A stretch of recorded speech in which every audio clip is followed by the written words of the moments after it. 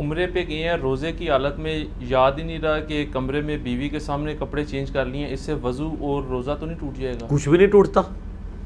یہ بھی بڑا مشہور ہے کہ جی احرام آپ نے جن کپڑوں میں احرام ہے، انہی کپڑوں میں ہی کرنا ہے۔ احرام کا نام قطن یہ نہیں ہے کہ دو چادریں جو آپ نے لی ہیں، اسی میں آپ نے پورا کرنا ہے۔ آپ روزانہ دس دفعہ احرام بدلیں احرام کی حالت میں۔ لیکن سلے ہوئے کپڑے نہیں پہن سکتے۔ ٹھیک ہے؟ کسی کو نائٹ فال ہو گیا اطلام ہو گیا ہے اب وہ بےچارے وہ لوگ غسل خانے میں وہی چادر دھو رہے ہوتے ہیں کہ جی اسی چادر میں احرام کرنا ہے یار آپ روزانہ ہر نماز کے چادریں بدلیں، کوئی مسئلہ نہیں ہے۔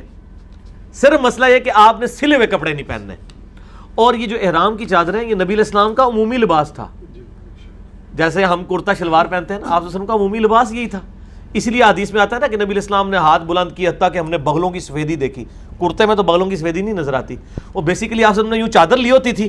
جب آپ کسی کے لیے یوں دعا کرتے تھے نا تو بغلوں کی سفیدی، تو یہ آپ کا عمومی لباس ہے، تھا۔ دو چادریں، نیچے والی اور اوپر والی۔ یہ عمومی لباس تھا۔ تو یہ لوگوں میں ویسے ہی مشہور ہے، کپڑے بدل لیے یا کسی بندے نے کپڑے بدل لیے تو اس کا وضو ٹوٹ گیا۔